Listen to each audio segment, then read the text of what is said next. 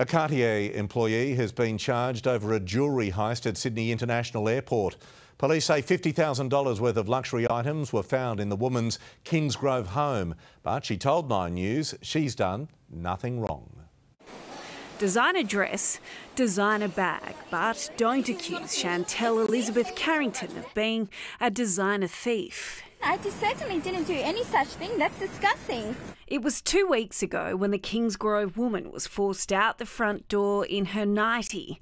Hands in the air, she surrendered before being placed under arrest.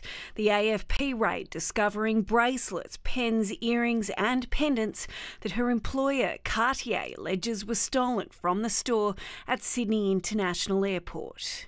Uh, there was no Cartier jewellery. Now, please. We're alleging that she stole 15 items worth of over $50,000 from that store, and that offence carries up to 10 years imprisonment. Ms Carrington represented herself in court today, begging for her bail conditions to be relaxed. At the moment, she has to report to police seven days a week. Carrington, whose real name is Sonia Ayubi, claims to have been in the gem business for almost a decade. Her social media says she's a singer. The 39 year old is yet to enter a plea over the alleged Cartier con. I haven't done anything wrong. Leave me alone, please. Tiffany Genders, 9 News.